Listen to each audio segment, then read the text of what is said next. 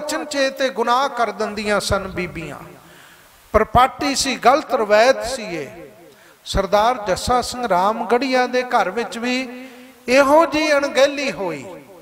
ਗੁਨਾਹ ਨਹੀਂ ਸੀ ਉਹਨਾਂ ਦਾ, ਉਹਨਾਂ ਨੂੰ ਪਤਾ ਨਹੀਂ ਸੀ। ਪਰ ਪੰਥ ਵਿੱਚ ਰੋਸ ਫੈਲ ਗਿਆ ਕਿ ਜੱਸਾ ਸਿੰਘ ਰਾਮਗੜੀਏ ਨੇ ਆਪਣੀ ਲੜਕੀ ਮਾਰੀ ਹੈ, ਇਸ ਨਾਲ ਰੋਟੀ ਬੇਟੀ ਦੀ ਸਾਂਝ ਛੱਡ ਦੇ।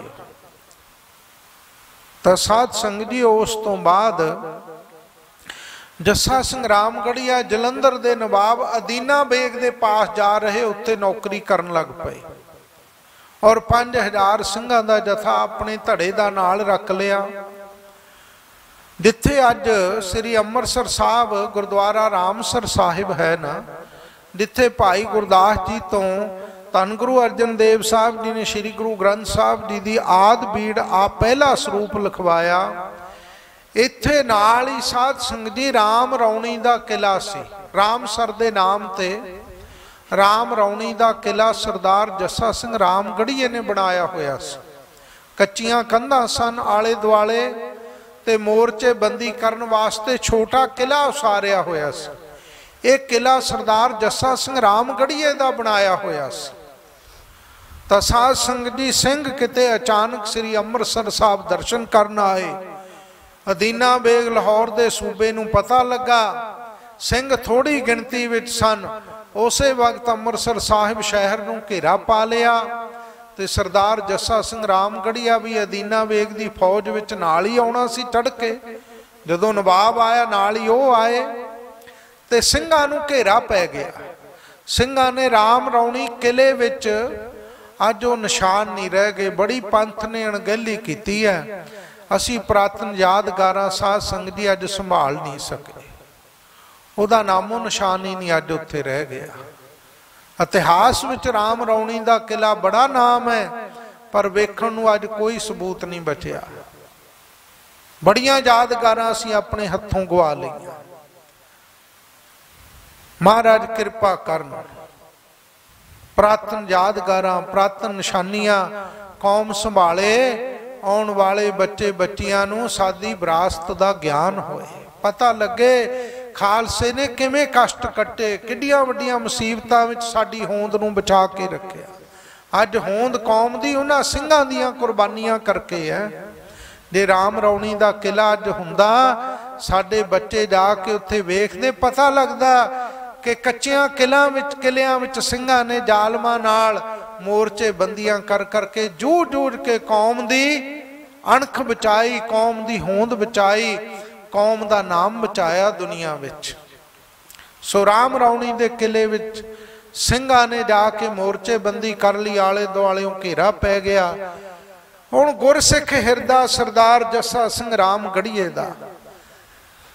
ਸੰਗਤ ਜੀ ਸਰਦਾਰ ਜੱਸਾ ਸਿੰਘ ਆਪਣੇ ਕੈਂਪ ਦੇ ਵਿੱਚ ਅੱਖਾਂ ਵਿੱਚੋਂ ਅਥਰੂ ਸਿੱਟਦਾ।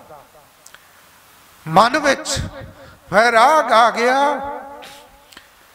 ਜੱਸਾ ਸਿੰਘਾ, ਅੱਜ ਤੇਰੇ ਤੀਰ, ਅੱਜ ਤੇਰੀਆਂ ਤਲਵਾਰਾਂ, ਅੱਜ ਤੇਰੇ ਭਰਾਵਾਂ ਉੱਤੇ ਚੱਲਣਗੀਆਂ। ਤਰਕਾਰ ਹੈ ਤੇਰਾ ਜੀਵਨ, ਜੇ ਤੂੰ ਆਪਣੇ ਭਰਾਵਾਂ ਉੱਤੇ ਅੱਜ ਵਾਰ ਕਰੇਗਾ।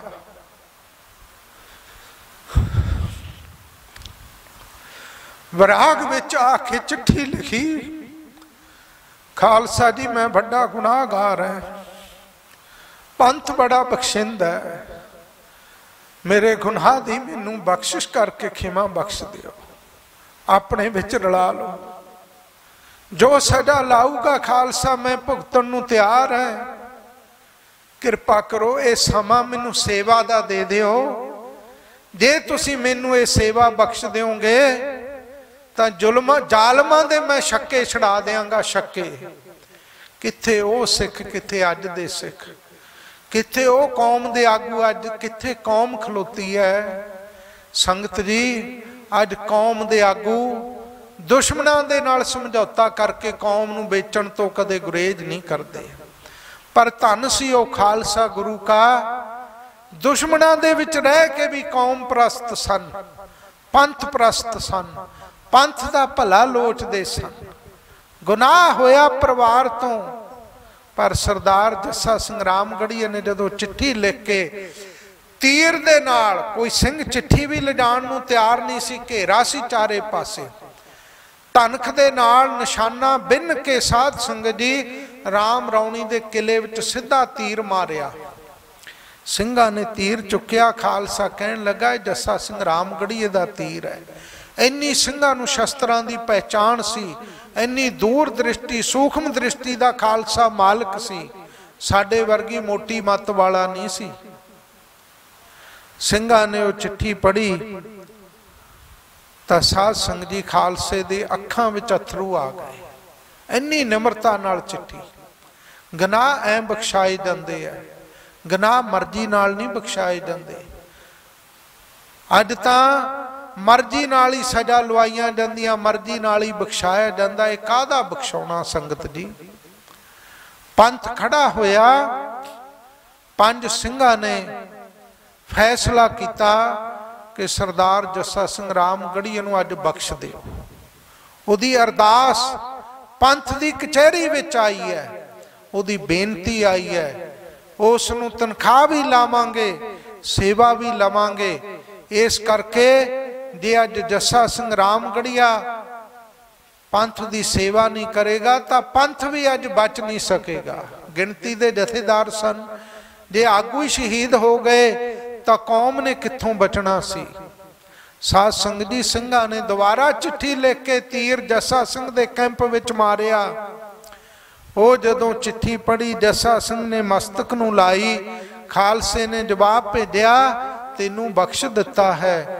ਸਮਾਂ ਪੰਥ ਦੀ ਸੇਵਾ ਕਰ ਲੈ, ਤੈਨੂੰ ਪੰਜਾਂ ਸਿੰਘਾਂ ਦੀ ਹਾਜ਼ਰੀ ਵਿੱਚ ਬਾਅਦ ਵਿੱਚ ਸੇਵਾ ਲਾਵਾਂਗੇ। ਐਸਾ ਸਾਧ ਸੰਗਤ ਦੀ ਸਰਦਾਰ ਜੱਸਾ ਸਿੰਘ ਰਾਮ ਗੜੀਆ ਨੇ ਵੀਰਤਾ ਪੂਰਵਕ 5000 ਸਿੰਘਾਂ ਦੇ ਨਾਲ ਤੁਰਕਾਂ ਦੀ, ਲੱਖਾਂ ਦੀ ਫੌਜ ਉੱਤੇ ਸਿੰਘ ਟੁੱਟ ਕੇ ਪੈ ਗਿਆ। ਉਸੇ ਵਕਤ ਸਾਰਾ ਘੋਰ ਘੇਰਾ ਤੋੜ ਕੇ ਸਿੰਘਾਂ ਨੂੰ ਰਾਮ ਰੌਣੀ ਦੇ ਕਿਲੇ ਵਿੱਚੋਂ ਕੱਢ ਕੇ ਲੈ ਕੇ ਗਿਆ ਸਰਦਾਰ ਜੱਸਾ ਸਿੰਘ ਰਾਮ ਗੜੀਆ ਐਡੀ ਵੱਡੀ ਉਹ ਸਿੱਖ ਜਰਨੈਲ ਦੀ ਸੇਵਾ ਔਰ ਪੰਥ ਨੇ ਉਹਨੂੰ ਬਖਸ਼ਿਆ। ਅੱਜ ਆਪਣੇ ਉਸ ਕੌਮੀ ਜਰਨੈਲ ਦਾ ਵੀ ਜਨਮ ਦਿਹਾੜਾ ਖਾਲਸਾ ਜੀ, ਉਸ ਜਰਨੈਲ ਦੀ ਵੀ ਆਪਾਂ ਯਾਦ ਤਾਜ਼ਾ ਕਰ ਰਹੇ ਹਾਂ। ਸਾਡੇ ਇਹਨਾਂ ਜਰਨੈਲਾਂ ਨੂੰ, ਕੌਮੀ ਸ਼ਹੀਦਾਂ ਨੂੰ ਕਦੇ ਭੁਲਾਈਏ ਨਾ ਇਹਨਾਂ ਦੀਆਂ ਬਹੁਤ ਵੱਡੀਆਂ ਕੁਰਬਾਨੀਆਂ, ਬਹੁਤ ਵੱਡੀਆਂ ਇਹਨਾਂ ਦੀਆਂ ਦੇਣਾ। ਇਹਨਾਂ ਗੁਰਸਿੱਖਾਂ ਦੇ ਇੰਨੇ ਵੱਡੇ ਵੱਡੇ ਪਰਉਪਕਾਰ ਹਨ ਖਾਲਸਾ ਜੀ ਅਸੀਂ ਕਰੋੜਾਂ ਜਨਮ ਵੀ ਜਨਮ ਧਾਰ ਕੇ ਇਹਨਾਂ ਗੁਰਮੁਖਾਂ ਦਾ, ਇਹਨਾਂ ਸ਼ਹੀਦਾਂ ਦਾ, ਇਹਨਾਂ ਮਹਾਂਪੁਰਖਾਂ ਦਾ, ਇਹਨਾਂ ਯੋਧਿਆਂ ਦਾ ਜਸ ਕਰੀਏ ਤਾਂ ਵੀ ਇਹਨਾਂ ਦਾ ਦੇਣ ਨਹੀਂ ਦੇ ਸਕਦੇ। ਗੱਲਾਂ ਕਰਨੀਆਂ ਬੜੀਆਂ ਸੌਖੀਆਂ, ਉਂਗਲਾਂ ਚੁੱਕਣੀਆਂ ਬੜੀਆਂ ਸੌਖੀਆਂ, ਦੋਸ਼ ਲਾਣੇ ਬੜੇ ਸੌਖੇ ਐ। ਗੱਲ ਕਰਨ ਵਾਲੇ ਕਰ ਦਿੰਦੇ ਐ ਕਿ ਜੱਸਾ ਸਿੰਘ ਰਾਮਗੜੀਆ ਕੁੜੀ ਮਾਰ ਸੀ ਪਰ ਉਹਨਾਂ ਲੋਕਾਂ ਨੂੰ ਇਹ ਗੱਲ ਦਾ ਪਤਾ ਹੀ ਨਹੀਂ ਕਿ ਉਹ ਸਰਦਾਰ ਦੀ ਕਿੱਡੀ ਵੱਡੀ ਕੁਰਬਾਨੀ ਸੀ ਪੰਥ ਲਈ। ਔਰ ਪੰਥ ਕਿੱਡਾ ਵੱਡਾ ਗਰੀਬ ਨਿਵਾੜ ਸੀ ਔਰ ਸਿੰਘਾਂ ਦੇ ਅੰਦਰ ਪੰਥ ਪ੍ਰਸਤੀ ਦੀ ਕਿੱਡੀ ਵੱਡੀ ਸੰਗਤ ਦੀ ਭਾਵਨਾ ਸੀ। ਐਸੀ ਮਹਾਰਾਜ, ਮੈਂ ਤਾਂ ਇਹੀ ਅਰਦਾਸ ਕਰਾਂਗਾ। ਜਿਵੇਂ ਸਤਿਗੁਰੂ ਜੀ ਨੇ ਕਿਹਾ ਨਾ, ਕਬੀਰ ਸਭ ਤੇ ਹਮ ਬੁਰੇ, ਹਮ ਤਜ ਭਲੋ ਸਭ ਕੋਏ। ਆਪਾਂ ਤਾਂ ਨਫ਼ਰਤ ਦਾ ਤੇ ਫੁੱਟ ਦਾ ਸ਼ਿਕਾਰ ਹੋ ਗਏ। ਸਾਰਿਆਂ ਨੂੰ ਮਾੜਾ ਕਹਿਣ ਵਾਲੇ ਪਾਸੇ ਤੁਰ ਪਏ। ਹਰ ਇੱਕ ਦੀ ਨਿੰਦਿਆ, ਹਰ ਇੱਕ ਦਾ ਵਿਰੋਧ, ਹਰ ਇੱਕ ਨਾਲ ਈਰਖਾ ਦਵੈਸ਼ ਦੇ ਵਿੱਚ ਅਸੀਂ ਸਾੜੇ ਗਏ, ਸੜ ਗਏ ਅਸੀਂ। ਜਿੰਨੀ ਜਿੰਨੀ ਕੋਈ ਸੇਵਾ ਕਰਦਾ, ਸਭ ਦਾ ਹੀ ਸਨਮਾਨ ਕਰੋ। ਨਫ਼ਰਤ ਦਾ ਬੀਜ ਨਾ ਬੀਜੋ ਪੰਥ ਵਿੱਚ। ਪੰਥ ਨੂੰ ਏਕਤਾ ਦੀ ਲੜੀ ਵਿੱਚ ਪਰੋਈਏ।